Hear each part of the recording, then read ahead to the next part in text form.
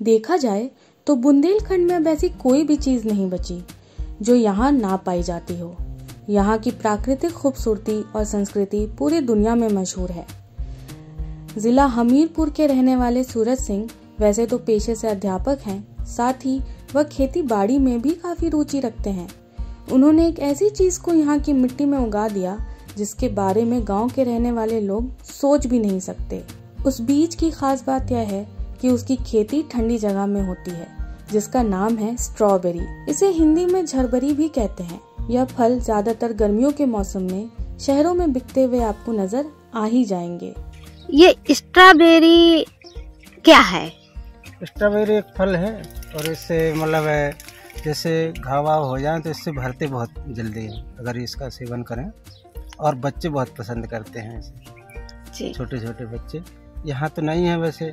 ये शहरों में ज़्यादा मिलेगी आपको और इसकी खेती पहाड़ी इलाकों में ठंडे इलाकों में होती है। कितना समय देते हैं भाई साहब आप खेती के लिए? आप एक वैसे ही टीचर हैं। नहीं समय बाद छुट्टी के बाद थोड़ा आ जाते हैं जैसे दो बजे स्कूल बंद हो गया घर पे गए खाना वाना खा के अपना शाम तक यहीं पे खेती का समय। और काय काय की खेती करते हैं भाई? और बाग लगे हैं मौसमी है आम है अमरूद है आंवला है और यही सब्ज़ी आप देख रहे हैं। तो यही करते रहते हैं। पहले से भी खेती होती थी या आप ही ने शुरुआत किया है? नहीं पहले से। पिताजी यहाँ पिताजी शायद ज़िले में नाम है उनका खेती में।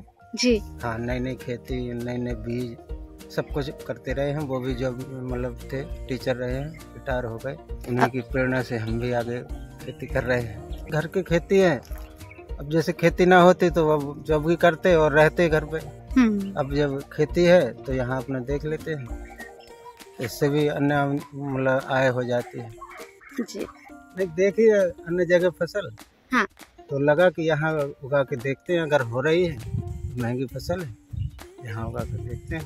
तो तो यहाँ हो गई बढ़िया अब अगले बार कित, कितने कितने पौधे फल होते हैं भैया?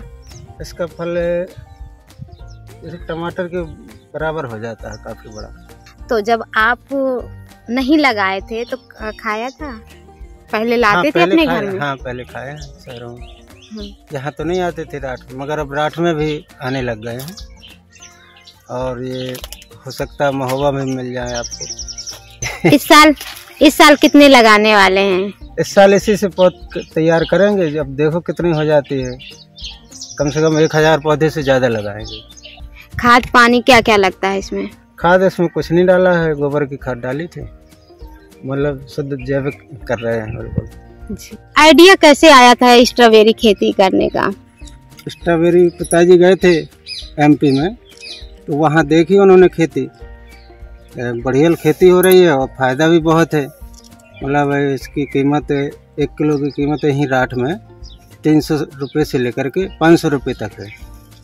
और एक पौधे में एक किलो से सवा किलो तक उत्पादन है इसका। तो आपने बेचा ही है कि नहीं कुछ बेचे हैं बाकी तो ऐसा है सब लोग आते रहे। इस वर्ष ट्रायल था तो खाने खाने में चले गए कुछ बच्चे भी खाते रहे। जी। नहीं पौधा आते हैं। पौधा आते हैं। ट्रे डली थी। जी। तो उसमें आए थे। का रेट के मिले थे? ये दस रुपए का पौधा मिला था।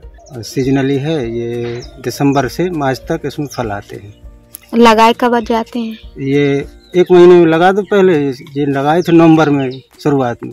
एक महीने में फल देने लगते हैं। तो चार फल आपको पचास रुपए से कम नहीं देंगे। वहाँ जैसे कानपुर में देते हैं वो पैकेट में तो चार फल पचास रुपए के मिलेंगे। थोड़ा खट्टा मीठा होता है जैसे बच्चे वो नहीं खाते हैं टॉफी हम्म। एक संतरा आता है। वैसे मान लीजिए वैसे ही होता है। स्ट्रॉबेरी दिखने में जितना आकर्षित लगता है उतना ही खाने में भी स्वादिष्ट होता है। इसका खट्टा मीठा स्वाद लोगों को खास करके बच्चों को खूब पसंद आता है। साथ ही इसकी खुशबू भी मन को लुभा देती है। इतना ही नहीं, स्ट्रॉबेरी सेहत के लिए भी काफ़ी फ़ायदेमंद होता है। इसमें बहुत सारे पोषक तत्व, जैसे vitamin C, antioxidant anti inflammatory folate, magnesium और पोटेशियम भरपूर मात्रा में होते हैं। यह शरीर में होने वाली कई समस्याओं को दूर करने में मदद करते हैं।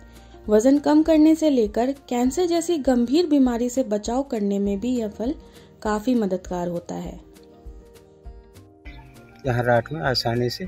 मगर अब ज़्यादा होगा तो कानपुर भेजना पड़ेगा फिर। नहीं तो राठ में उतनी वो है नहीं मार्केट। जैसे अमरूद है हमारा और ये आम है सब बाहर जाता है यहीं से कैरेटों में छतर पर। वहाँ के लोग आते हैं गाड़ी लेकर के तो भर ले जाते हैं। यहाँ बुंदेलखंड के लिए हम सोच रहे हैं कि अगर किसान करें तो जो उनकी मंशा है सरकार की, कि किसानों की आमदनी दुगनी हो तो गेहूँ और चने से चुनी होगी। ऐसी फ़सलें उगानी पड़ेंगी जब होगी। खबर लहरिया, आपकी खबर, आपकी भाषा।